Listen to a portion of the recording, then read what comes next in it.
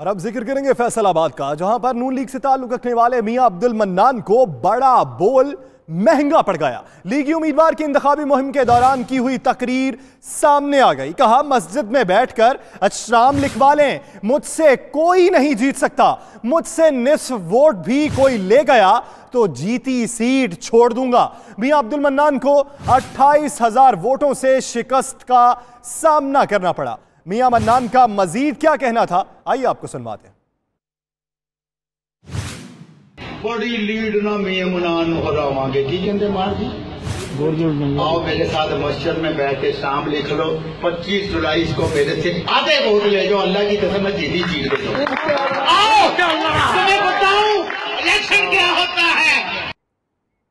اسی حوالے سے مزید بات کریں گے بیورو چیف فیصل آباد، میاں شفیق ہمارے ساتھ موجود ہے میاں شفیق بتائے گا، بڑا بول مہنگا پڑا ہے، بسات الٹی ہے اور اپنے ہی منہ پر آ کر اپنے لفظ پڑ گئے بالکل ایسے کہتے ہیں نا جی کہ تکبر اور غرور اللہ کو بالکل پسند ہے یہ عادت میاں منان کی ہمیشہ رہی ہے۔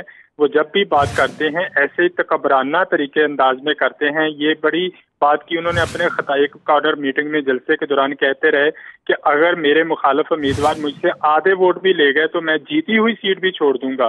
تو انہوں نے جیتنا تو کیا تھا؟ اٹھائیس ہزار ایک بدترین شکست کا سامنا کرنا پڑا۔ اٹھائیس ہزار کی لیڈ سے یہ ہارے ہیں۔ یہ صورتحال تھی، بلکہ ان کی شکست پر فیصل آباد کے تمام تاجروں نے چوک گھنٹہ گھر میں جمع ہو کر کل شکرانے کے نقل بھی ادا کی ہے یہ صورتحال تھی فیصل آباد میں ان کے خلاف اور تمام تاجر تنظیمیں بھی ان کی مخالف تھیں اور حلقے کے عوام نے بھی اپنی رائے اپنا فیصلہ بہت شکریہ میاں شفیق اس حوالے سے اپڈیٹ کرنے کے لیے۔ ناظرین آپ کو ایک بار پھر سے وہ الفاظ سناتے ہیں جو میاں عبد المنان نے ادا کیا تھے۔ بڑی لیڈ نہ میاں منان ہراواں گے کی کہندے مار جی؟ آؤ میرے ساتھ مسجد میں بیٹھ کے شام لکھ لو۔ پچیس جولائی اس کو میرے سے آدھے ووٹ لے جو اللہ کی قسم میں جیتی جیت دے دو۔ آؤ!